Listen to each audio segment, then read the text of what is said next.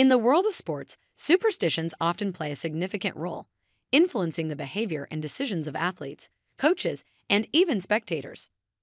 Recently, Kylie Kelce, wife of Kansas City Chiefs tight end Travis Kelce, revealed an intriguing superstition she experienced during the Super Bowl.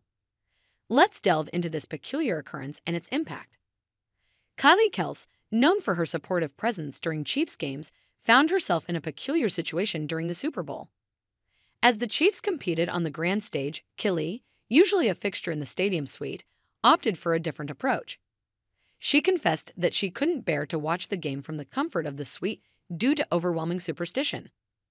According to Kylie, the superstition surrounding the game kicked in hard, compelling her to avoid the suite altogether.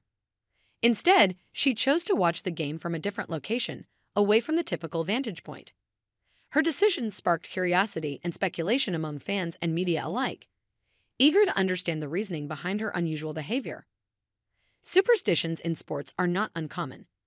Athletes and their loved ones often adhere to specific rituals or beliefs in hopes of influencing the outcome of a game. From lucky charms to pre-game routines, these superstitions provide a sense of control and comfort in the unpredictable world of sports. For Kylie Kelce, the stakes were high as she navigated her superstition during one of the most significant sporting events of the year. Her decision to deviate from the norm highlighted the powerful influence of superstition and its potential impact on sports related decisions.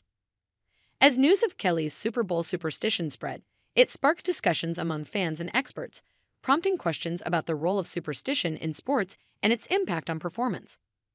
Some applauded Kylie for following her instincts, while others speculated on the potential consequences of her decision. In the aftermath of the Super Bowl, Kelly's revelation added an intriguing layer to the narrative surrounding the game. While the Chiefs ultimately fell short of victory, Kelly's experience offered a unique perspective on the complexities of sports psychology and the various factors that influence game day decisions.